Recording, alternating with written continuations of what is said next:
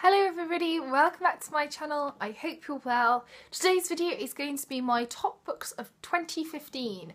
I gave 12 books in 2015 a 5 out of 5 star review. I loved all these for various different reasons and I thought I'm not bothered about doing a top 10 or anything like that so I thought I'd just do a top 12 and here they are. Here are my top 12 books of 2015. As usual, I will leave links for all of them down in the description bar below, so if you find that any of them are of any interest to you, just click the link and you'll go straight to it. I have to say, these are in order, so we're going to start with number 12, my 12th favourite, and we'll go, go all up to my very best favourite of the year, which I'm so excited about. So let's get straight into it. So number 12 is a good old favourite author of mine, that's Agatha Christie. And number 12 we have Sleeping Murder, which is Miss Marple's last case. The story of this one is a young woman called Gwenda who buys a house, but as soon as she buys the house she kind of gets these thoughts and these feelings of um, wallpaper should be this certain way and then they take it down to reveal that it was that certain way. And oh, a door should be put there and then they find out oh, a door was there. And she's having all these different kind of weird thoughts and feelings.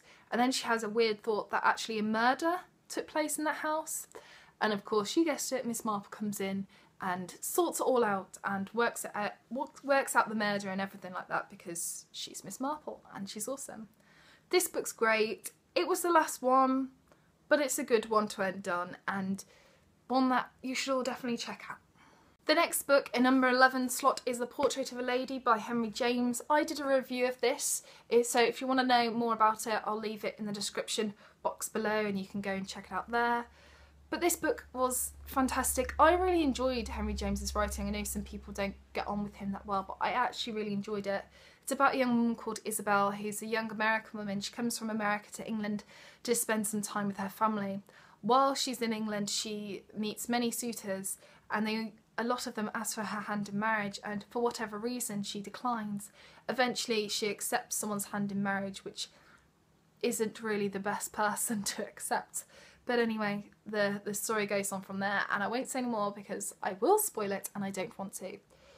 This book is definitely one of those books that has people completely split over the ending. I think that the ending was the most realistic one, although I like to think that it wouldn't happen now. It might do, but hopefully not. I still really enjoyed this and this has one of the best opening lines in literature ever. Um, all about afternoon tea. And who doesn't love afternoon tea? So, number 11. Into my top 10 now, and the book that takes my number 10 slot is Sparkling Cyanide by Agatha Christie. This is a hardbacky version that I got with a magazine years ago, and I will leave the link to a really nice copy that I want to get my hands on, which is the mass market size paperback and it's red and it's got a picture of um, a champagne glassy fluty thing. It's beautiful and I want to get my hands on that one. But I don't mind. This is still nice. But anyway, the story of Sparkling Cyanide is one that you can probably guess. Someone gets murdered by having cyanide put in their glass, which must be a very uncomfortable way to die. But this book was incredible. Her standalones for me are kind of hit and miss. I have read a couple of incredible ones, I've read a couple of alright ones. For instance, The Pale Horse, it was alright, but and then there were none and Sparkling Cyanide, utterly amazing. I know so many people go on about and then there were none and it's the most popular um, book that she's written and the most popular crime book selling some stupid obscene amount of books.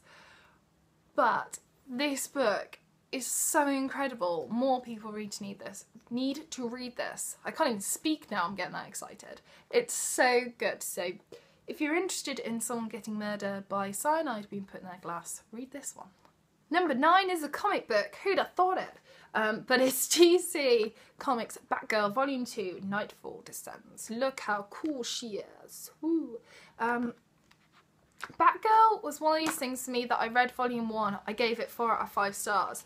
And then I was thinking this is either going to be really good or it's going to go really plop. When I read Supergirl, I gave the first one, I think I gave that four stars as well. But then it went a bit plop and I'm not going to carry on with the series. Catwoman, volume one and two were awesome. They're incredible. But then in volume three, they changed the writer and then it went plop as well. But I have to say, Batgirl went from volume one, which is really good, to volume two, which was amazing. We learn so much about herself and her family. It's incredible. There isn't this kind of blokes going in there and having to, you know, fix the problem. There's no, you know, usually what you have in these kind of things is the male counterpart really getting involved. So in her case, she's Batgirl. So we have Batman or Robin sometimes, you know, getting all in there and just having to solve the situation for her. None of that. She does it all by herself. Um, sometimes she does have a few female friends, but most of the time it's just her doing it by herself. And this book swiftly moves from kind of comic book cool to a weird crime mystery with her and her family, what was going on with her mom and her brother. And I cannot wait to read volume three. And I don't have it yet, I need to get it because I think it's going to be awesome. But this one leaves you in a bit of a cliffhanger and it's amazing. If you're if you're not really that much into kind of comic superheroes, but you do like crime, you will like this. It's awesome. At number eight, funnily enough, is another comic book. Whoopsies, I didn't mean to put these next to each other, but it just so happens that they are. But it is Wonder Woman Volume 4 War. I have never given a Wonder Woman comic book less than five stars because these are awesome. And as usual, War was utterly incredible. I love Wonder Woman. I love her strength. I love her power. I, I love the fact that she is, you know, a demigod and a, and a princess and just awesome. If you haven't read um, the new 52 Wonder Woman, I would advise you do it. I know some people aren't too keen on the artwork because it is very much um, kind of typical superhero artwork, but I actually quite enjoy it. So if you do or don't mind it, then pick it up. At number seven, Lucky Seven, I have a non-fiction. That is The Lady in the Tower, The Fall of Anne Boleyn by Alison Weir. Oh guys, oh guys, I love this book. This book is so good and there I have read so many books on Anne Boleyn and I've read a lot of books on the fall of Anne Boleyn and so many of them have annoyed me. it's untrue. This one didn't annoy me. This one seemed to get me and understand me and knew where I was coming from. Um, something that you might not know about me is for a very long time I've been thinking about writing a book and I often write little snippets here and there and a lot of the snippets that I've written are books on Anne Boleyn, um, non-fiction, not fiction. I don't know if I, I don't think I could write a fiction to be honest. Um, I, I think I've always ended up writing non-fiction and I, I, I just love Anne Boleyn. Anne Boleyn is someone that I've studied for such a long time. She's someone that I write about, um, and it's really nice to have a really good, well thought out book about her. This isn't a book about her per se, it's a book about her fall. So if you're interested in learning about Anne Boleyn as a woman, don't go here because this is just her um, decline and why she was executed. But fantastic, and if you are a fan of Anne Boleyn, but you're um, kind of like me and a bit annoyed about how other people describe her fall from power, then read this one because whoopee. Number six, I have Patience by John Coates, which is the beautiful Persephone. And again, I've done another review of this. This was in my Persephone um, book reviews number one. I really love this book. This was so good. It's about a family in the 1950s being hit with adultery and what happens when you're having an affair and you're Catholic and it's about morals and sex and family and social social history even and it's great it's fantastic it, it, it's so emotional it's so hard hitting and that ending was just ridiculous but amazing so patience and I, have spoken about this quite a lot and I don't know if anyone has then gone and read it. So if you have read it from my review, if you could let me know down in the comment section down below, I'd, I'd love to know. So I'm now into my top five books of 2015 and the book in the number five slot is The ABC Murders by Agatha Christie. This is my winning Agatha Christie book of the year. Da, da, da. This was a whole new level of what on earth. This, I have to admit, is my only Agatha Christie book that I've ever read to date that I've actually been thoroughly spooked. The reason why I like Agatha Christie is because it doesn't make me jump, it doesn't make me scared, it doesn't make me worried, it doesn't make me paranoid. Until I read this. And I was all of those things. And I hate being scared and I hate being on edge. But I didn't mind it with this one because this one is incredible. David Suchet does say, has said in interviews before this would make an amazing film and now I've read it, it honestly would. If you've never read it before, there is a murderer out there who murders people in a certain place with a certain surname. So we'll start at the beginning of the alphabet with A. So they will murder someone in a place beginning with A, and mur the murder victim will be someone with the surname of A. And then once they're murdered, they leave the ABC railway guide next to the body.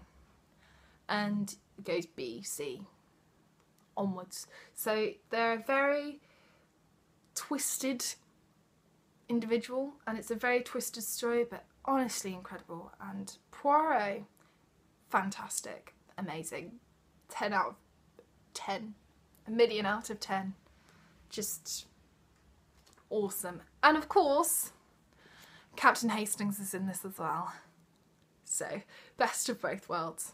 At number four we have Mapp and Lucia by E.F. Benson. I have this beautiful copy here with these lovely 30s ladies. Again, I've done a review of this, so I'll leave it down below. But it's these two women in the 1930s going completely at each other, trying to be queen bee of society. It's a bit like Miss Marple without the murders, um, a bit like Hyacinth's Bouquet in Keeping Up Appearances. It's very funny, it's very witty, incredible. If you really like the BBC adaptation, then I'd say what read this because it's super. They've got that really down to a T. I am definitely going to pick up the other ones in the Mapp Lucia series and read them because this was amazing. I do have to say though that if you are not a fan of British comedy don't read this because you'll probably just find it a bit annoying to be honest. But if you do like British comedy then read this because it's awesome. Number three of my top books of 2015 was Mansfield Park by Jane Austen. Woo! Again, I've done a review of this down below. Oh, God, I love this book. I'm currently reading Emma by Jane Austen as well, actually. Maybe that'll be my 2016 top books. We shall see. Jane Austen never fails to disappoint me. I really love her writing. She is funny, she is witty, she is warm. Whenever I read her books, I feel like I'm coming home. I just love her. And Mansfield Park is fantastic. So if you haven't read it, go read it or check out my review. So my second favourite book of 2015 and I have to say my favourite fiction book of 2015 is Jane and Prudence by Barbara Pym. Woo! I loved this. Again, I've done a review of this. Link will be down below. But it's about two women, Jane, Prudence. Jane is a vicar's wife. She lives in the countryside. Prudence is this young 50s um, modern, well a modern 50s chick.